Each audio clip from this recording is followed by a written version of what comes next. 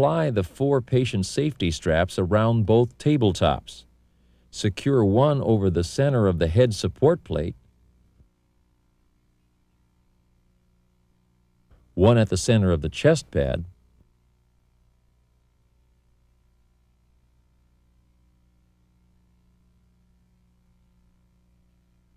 one centered between the hip and thigh pads,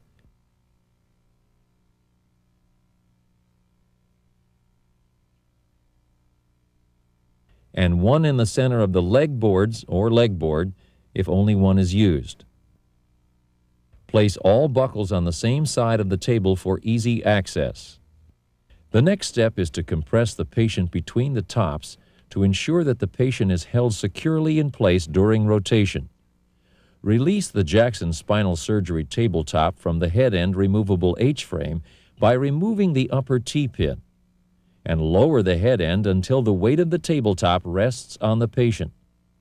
Resecure the Jackson tabletop in the mounting hole nearest to this level at the head end removable H-frame with a T-pin. Now, at the foot end, remove the upper T-pin that is holding the tabletop to the removable H-frame. Then lower the foot of the Jackson tabletop until the thigh pads compress against the patient and a crease appears in the pad. Now resecure the tabletop at this level to the foot end removable H-frame with the T-pin. Retighten the four safety straps to remove any slack. The lead attendant at the head end will check the foot end of the table to verify that each of the four locking pins and the four safety straps are secured in their proper positions by counting aloud foot end pins. One, two, three, four. Straps. One, two, three, four. The same attendant will then check the head end of the table to verify that each of the four frame locking pins are secured in place by using the same verbal counting check. Head end pins. One, two, three, four. Only one attendant should be responsible for checking all of the pins and straps. Failure to verify that all locking pins and straps are fully engaged and in their locked position may result in the patient being dropped. With an attendant at both ends, the attending physician will then grip the Jackson tabletop securely at the center of the frame and instruct the attendants at the head and foot ends to release the transfer locks.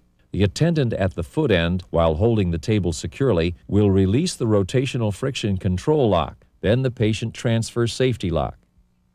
The attendant at the head end, while holding the frame securely, will then release the rotational friction control. The patient transfers safety lock and the 25 degree rotational stop.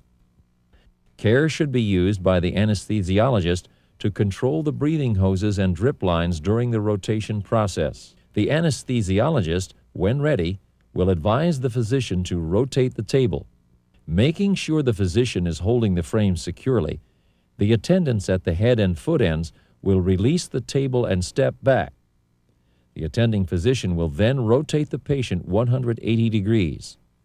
The patient should be rotated in one smooth, continuous motion until they are in the prone position. Attendants at the head and foot ends will immediately engage the patient transfer safety locks and retighten the rotational friction controls to maximum friction, then lock the 25 degree rotational stop at the head end of the table.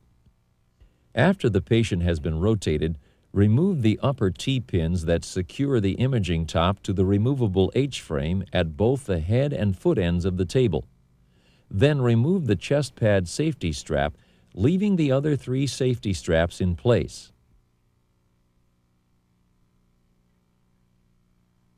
Now attach the armboard brackets to the Jackson spinal tabletop, positioning the brackets either above or below the head support plate based on the procedure to be performed. Position the brackets below the head plate for cervical procedures and above the head plate for spinal procedures. This will ensure complete radiolucency in the surgical area. Attach the arm boards to the armboard brackets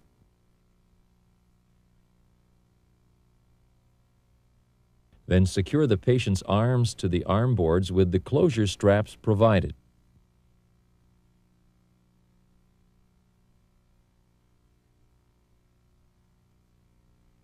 Next, two attendants, one at each end of the table, will hold the imaging tabletop in place while a third attendant removes the remaining three safety straps.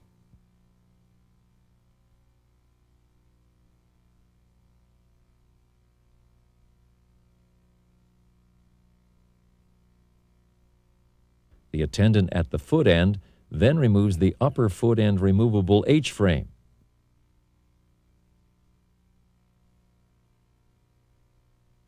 The attendants at each end of the table will lift the radiolucent imaging top away and store it on the cart.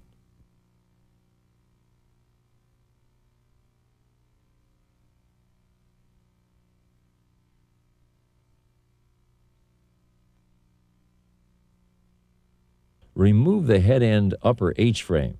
The patient will normally be in a slight Trendelenburg position as a result of the rotation and the patient should be brought into a level position. Then place a blanket over the patient's legs and buttocks.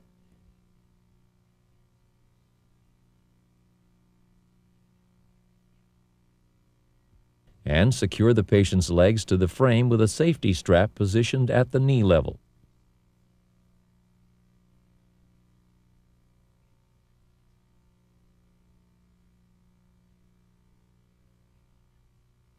The buttock strap is applied across the lower gluteal area. It is recommended that padding be placed between the buttock strap and the patient's skin. The strap is positioned forward of the hips, around the rail on the superior side of the hip pads, and back into the corresponding buckle.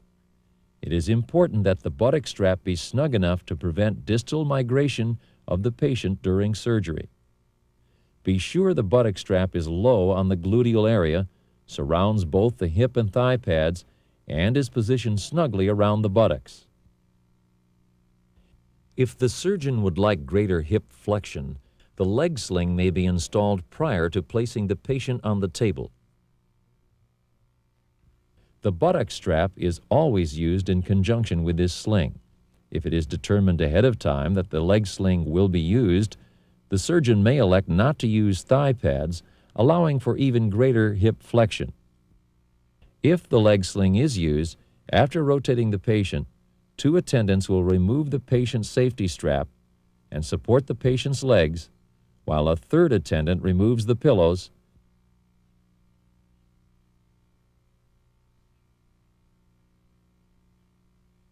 and leg boards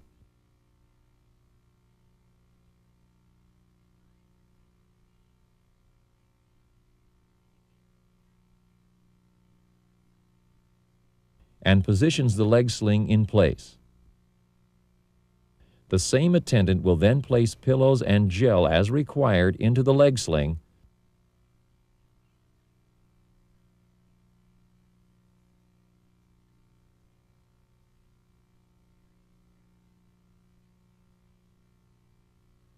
Position the patient's lower legs into the sling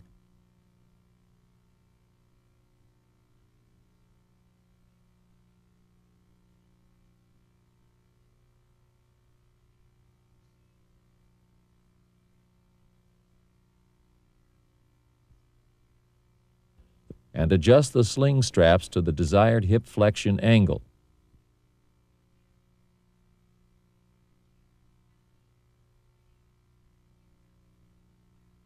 The two attendants will then reapply the patient's safety strap.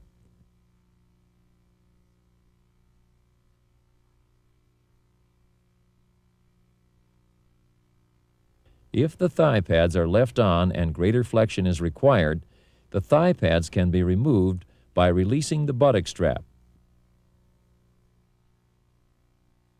Rolling the patient to one side of the table, unlocking and removing the thigh pad,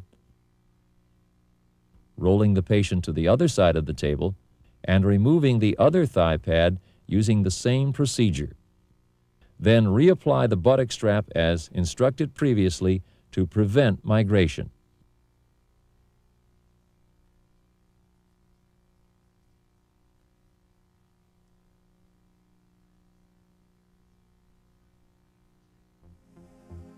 This concludes the demonstration on table rotation. In the following segment, we will demonstrate how to set up the radiolucent imaging tabletop. Because of the dual pedestal base and carbon fiber imaging tabletop, the radiolucent imaging tabletop allows 360 degrees unobstructed visualization of patients throughout their entire length. The radiolucent imaging tabletop is not only used as the transfer top during rotation, it is also used as the tabletop for the OSI pelvic reconstruction kit. A variety of procedures may be performed using this tabletop. The radiolucent side rails will accept side rail sockets, Clark sockets, and conventional arm boards. Radiolucent imaging tops, shipped after February 1, 1997, incorporate a gimbals feature that allows simultaneous Trendelenburg and lateral tilt.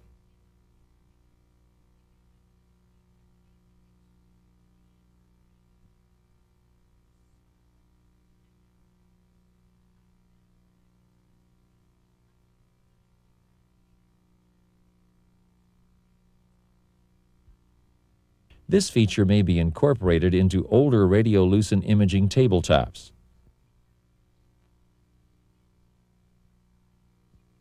Support braces are available to secure the patient when using this feature.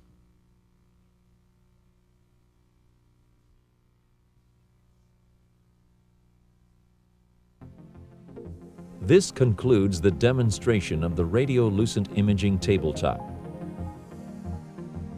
In the following segment, we will demonstrate various setups for cervical management of the patient on the Jackson Spinal Table System. The Jackson Spinal System adapts well to most methods of stabilizing a patient's head and cervical area. The use of either a cervical head halter or Gardner-Wells type tongs with weight traction requires that a traction cord weight hanger and weight be used. For use of either, after transferring the patient to the tabletop, if it is not already in place, attach the cervical head halter.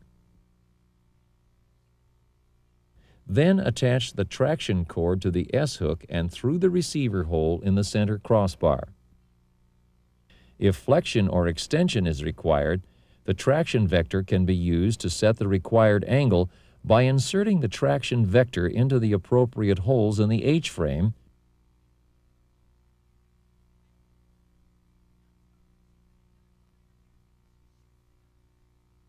and running the traction cord over the top or under the traction vector, and then through the traction receiver hole in the center crossbar, then over the head end pulley, and attach the other end of the rope to the weight carrier, and then attach the desired amount of weight. If necessary, you may continue and rotate the patient as previously demonstrated. The coupler assembly for the Jackson spinal surgery top provides the surgeon with greater flexibility to rotate, laterally translate, flex, and extend the cervical spine of the patient. Before installing the coupler assembly, verify that all frame T-pins and straps are secured in their proper positions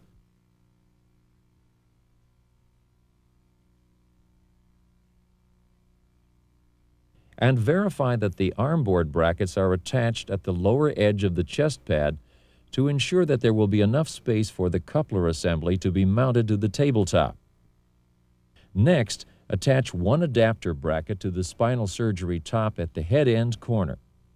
Then insert the Mayfield assembly into the bracket and tighten the coupler assembly.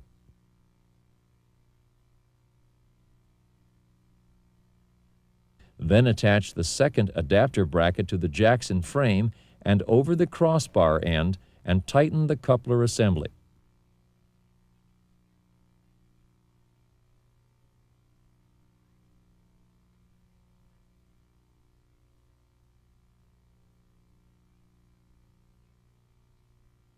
Both Bremer and PMT provide adapters to fit OSI's coupler assembly.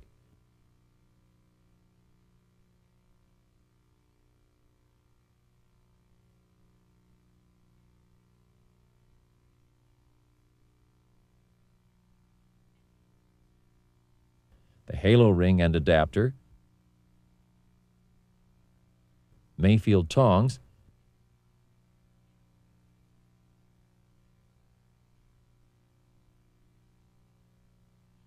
and the horseshoe headrest.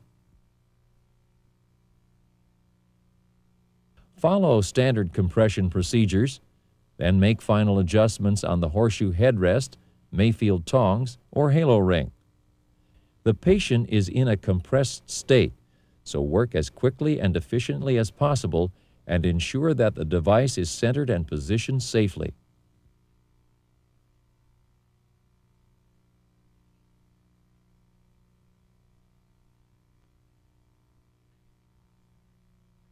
It may be necessary to position the armboard brackets below the chest pad instead of above to ensure complete radiolucency in the cervical area and to allow complete intraoperative access for the surgeon. Before rotating the patient, verify that all frame T-pins and straps are secured in their proper positions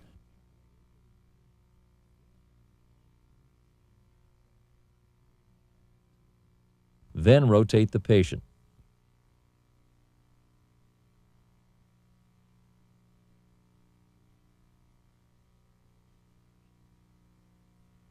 An X-ray AP cassette tray is available for the Jackson Spinal Surgery Top. This tray provides an adaptable support platform for X-ray cassettes for use with AP intraoperative radiographic imaging. The AP cassette support bracket with a narrow channel adapter on one side and a wide channel adapter on the other is designed to fit all modular tabletops. The wider channel will fit the side rails of the Jackson spinal surgery top. The narrow channel will fit the side rails of the radiolucent imaging top. The cassette tray is designed to hold a maximum of a 14-inch by 17-inch cassette. However, it can be easily adapted to hold custom-sized cassettes. The twist knob in the back can be loosened and the corner stops can be repositioned to accommodate other cassette sizes. After adjusting the cassette tray to fit the size of the cassette being used, attach the AP cassette support bracket to the tabletop, then attach the cassette tray to the AP cassette support bracket, place the cassette into the cassette tray, and lock it in place.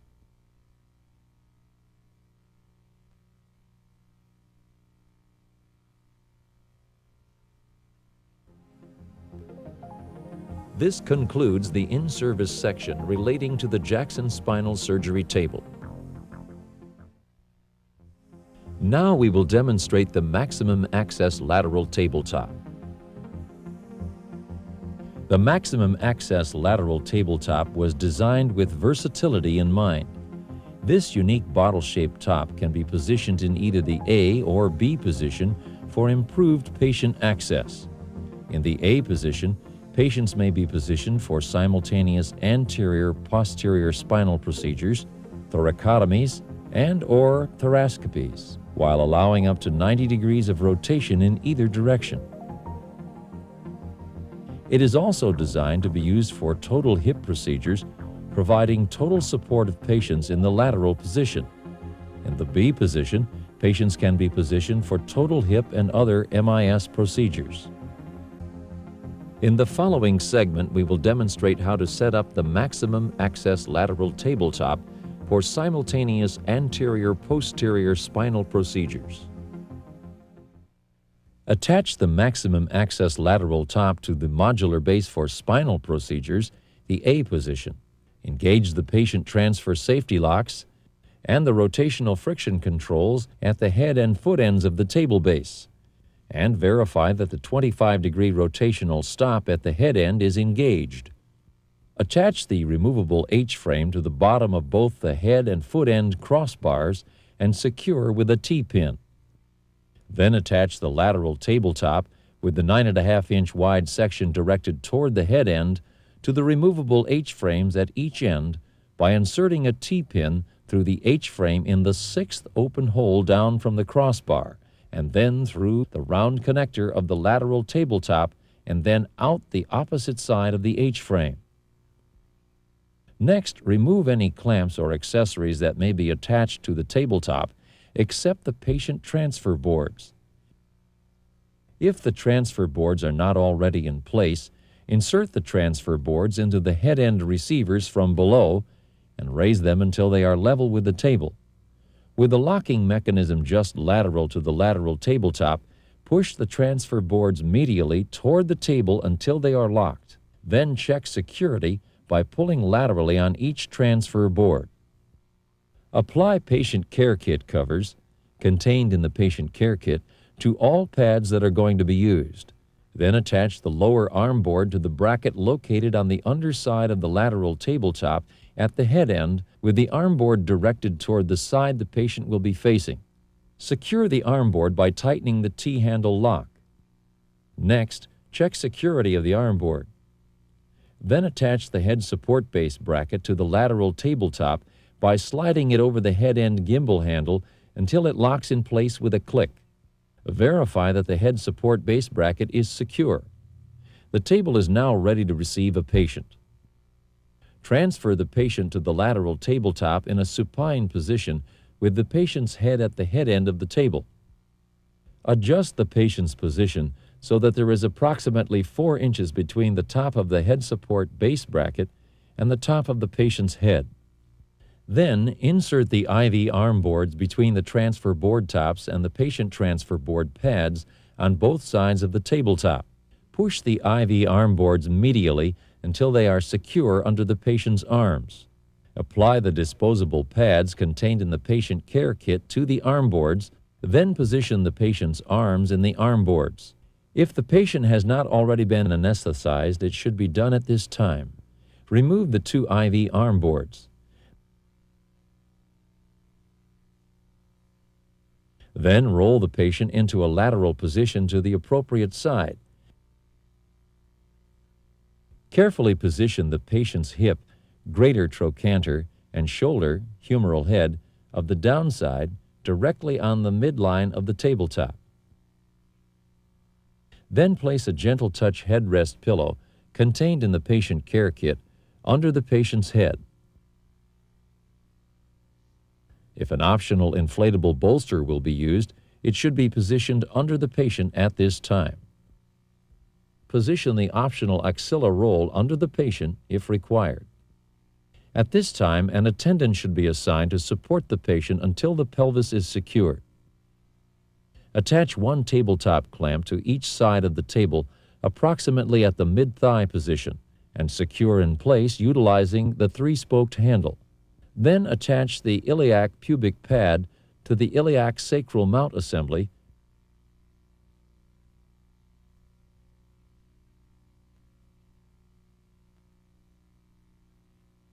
and insert the iliac sacral mount assembly with the iliac pubic pad attached into the tabletop clamp on the anterior side of the patient. Position the pad against the patient's iliac crest. Secure it vertically with the black plastic locking knob on the table clamp, and laterally with the flat aluminum knob located on the mount assembly.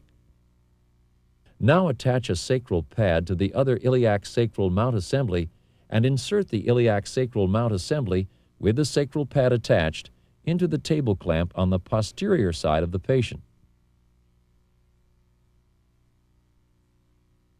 Position the pad against the sacrum and secure it in place vertically with the black plastic locking knob on the table clamp and laterally with the flat aluminum knob located on the mount assembly. Now slide the chest scapula mount assembly onto the accessory rail at the head end of the lateral tabletop on the patient's anterior side and secure with the locking knob. Use caution as the chest scapula mount assembly slides into position to ensure that it will not impact the patient's face. Then attach a chest pad to the chest scapula mount assembly. Position the chest pad to the midline of the patient's sternum utilizing the vertical adjustment knob and with the superior edge of the pad at the patient's suprasternal notch, secure it with the lateral locking knob. The attendant should hold the upper arm until the patient's head has been secured. Slide the chest scapula mount assembly onto the accessory rail located at the head end of the lateral tabletop on the patient's posterior side and secure with the locking knob. Then attach a scapula pad to the chest scapula mount assembly. Adjust the height of the pad with the vertical height adjustment knob so that the pad is between the scapula with the superior edge of the pad approximately at the level of C7. Then secure the scapula pad against the patient with the lateral locking knob. Remove the patient transfer boards by depressing the red lever and pulling out, down, and then footward to remove the boards. Now adjust the lower arm board and secure the patient's arms with the straps contained in the patient care kit.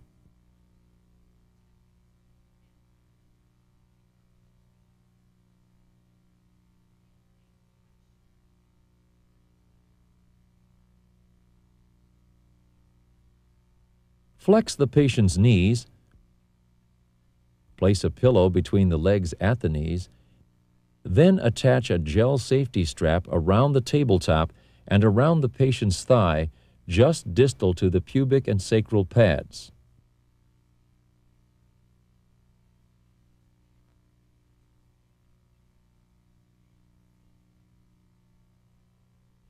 Next, attach the head support assembly to the head support base bracket, then adjust the three head pads as necessary to support the head. The lateral headrest pad should be located against the patient's head approximately three quarters of an inch above the ear.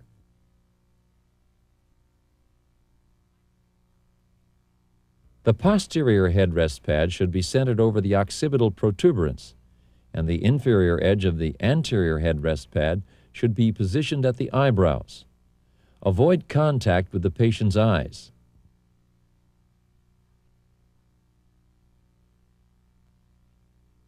Verify that the C-spine is straight and verify that the patient's head, ear, is centered on the 9.5 inch wide table section. Now insert the upper arm support into the chest scapula mount assembly. Adjust the upper arm support to support the patient's upper arm at the proper height. Rotate the arm support to maximize access to the face and lock it with the clamp knob. Now secure the patient's upper arm to the arm support with the two